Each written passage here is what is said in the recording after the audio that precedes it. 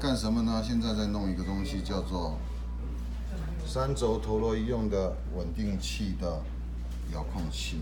这遥控器我们发生了一个妙用，也就是说，它已经不单单是控制三轴云台了，它还可以直接控安卓手机、iPhone 手机变焦、录音、录那对焦，还可以呢拍照录影。这么猛呢，我们马上来试给大家看。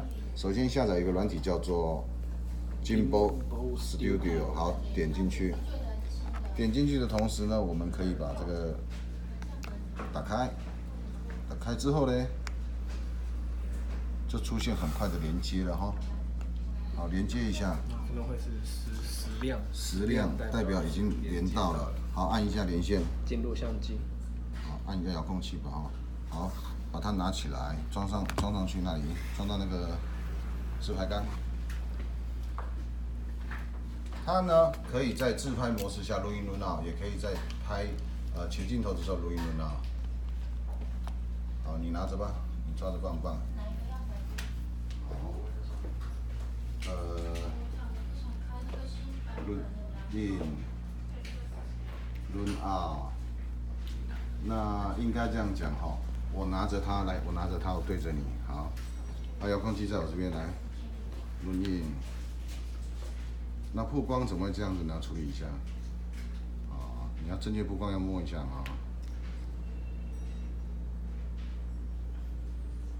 哦，哪个击败人把那个按钮给压到了？Auto，它可以全手动，也可以 Auto。哪里？EV 放在零就对了哈。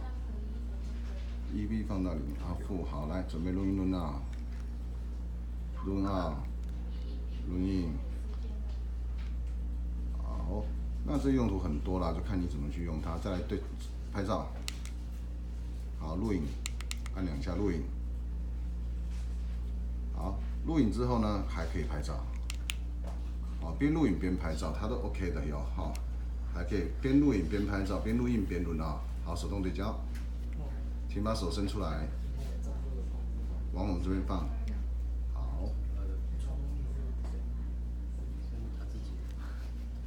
手动对焦，有没有看到手动对焦？好，自动对焦。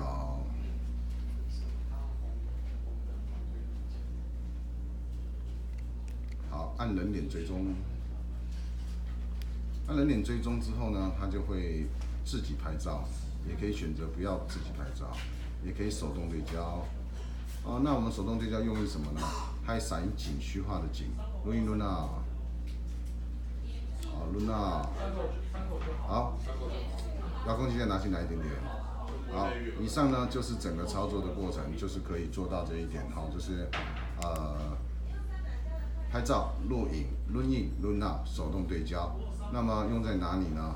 啊，很多时候都可以用到，但是必须要讲一件事：直播的时候不能这样用，直播没有办法联动哈。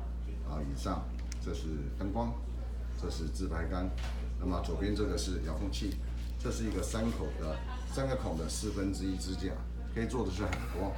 好，以上在这边跟大家分享一个特殊的工，特殊的一个装备，变焦遥控器，手动对焦遥控器，M 四 M 四 S 三轴稳定器遥控器，谢谢大家。